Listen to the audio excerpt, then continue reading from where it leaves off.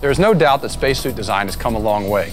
Early U.S. spacesuits were adapted from pressure suits designed for pilots of high-altitude military and experimental aircraft. Today, modern suits are a reliable and mobile unit that astronauts depend on during spaceflight. Our own Johnny Alonso found out more about spacesuits and how they work.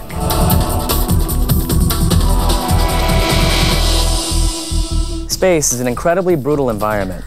Not only is there no atmospheric pressure or oxygen to sustain life, but human explorers must also deal with intense radiation and extreme temperatures in order to perform even the most basic tasks. Inside a spacecraft, the atmosphere can be controlled so that special clothing isn't needed.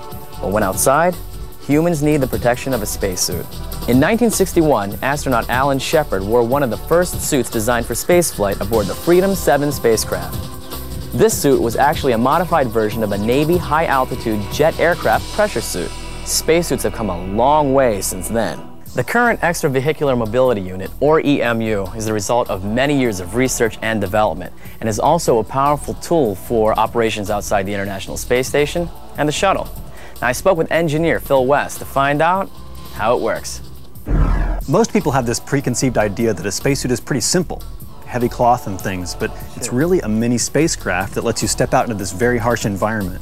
What are the consequences of not wearing a spacesuit? Well, it's a bad day if you don't wear your spacesuit. First of all, there's a vacuum in space, right? So just like when you open a soda bottle, it's going to fizz, right? Sure. Your body will do the same thing. And literally what's happening is your, your body fluids, your blood, and everything are going to boil, all right? And it's not because of temperature, it's because of pressure. Remove the pressure and whoosh, that stuff wants to come out. So then you've got temperature extremes. I don't mean temperature of space. You need molecules to have temperature, but your temperature, the spacecraft temperature, could get very cold or very hot depending on whether you're in the sun or in the shade or the things around you. Sure. Okay, and then there's little particles of natural or human-made stuff that fly around space at high speeds and could Yeah. could literally hit your hit you, yeah, or micrometeoroids, natural stuff that comes in from elsewhere. What are modern spacesuits made out of? Think of the spacesuit as a balloon shaped like your body. Okay. All right, and we've got to have a layer to make that balloon. So we use this urethane-coated nylon. Okay, that's like camping tent material, but it's got a coating on it to seal it up, and that's the basic layer that holds all the gas in. We put that, and we make it the shape of your body. We call it the bladder. Now, what would happen to a balloon if you inflated it too much? And it'll pop. Right, pop, which is bad. So in a spacesuit world, anyway. Right. So we got to constrain it. We got to make sure it's the right shape. So we use this polyester layer to give it structure and strength, and make sure it's the right shape of your body, the right size, arm length, etc. So that's the first two key layers of the spacesuit. Then remember temperature extremes we talked about? Yes. Okay, we have five layers of aluminized mylar. So now think of the spacesuit as a thermos bottle. You know how a thermos bottle works? It's got a vacuum Sure. between an insulator and a glass jar with a silvery coating on it. So that's for thermal protection, and then a real tough layer of What's this? Nomex with Teflon coating on it. Feel that's kind of slick, right? Yeah. And it's got Kevlar woven into it, a very strong fiber. Okay. And that's so you don't get tears and you protect all these other layers very well, right? You don't want to get a hole in here because you don't want to get a hole back here in your You bladder. don't, right. Phil, how do these spacesuits operate? Well, you've got a control pack on the front and a life support system on the back, all right? And that life support system is more than just oxygen. It's got batteries for power, a radio for communications, um, computer, Sure. and a bunch of plumbing and things Okay. to keep you alive. Okay. And that's all controlled up in the front here with this control pack. And so we've got some places for the astronaut control, like their communications equipment. You can open that valve if your suit overpressurizes. There's a little dial there to change your communications mode, and a little display to tell you, hey, you know, Johnny, you've only got 3% battery power left. Time to go Pack up your toys and Yeah. Bring it on in.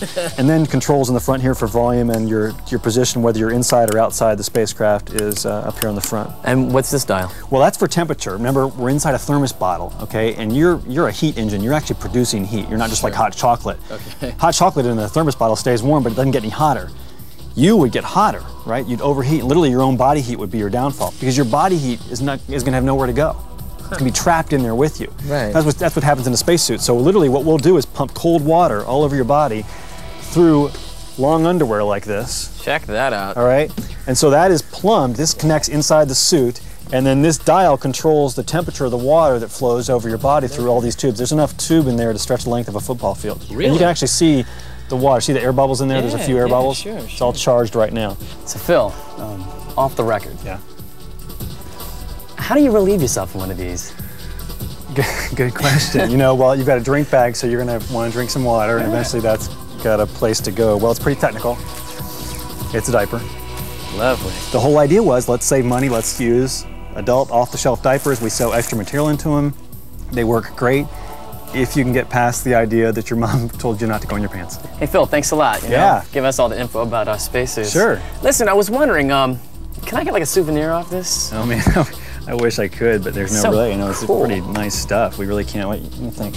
Well, you know what? Actually, we don't. This is used. We don't need the diaper anymore. You can have that.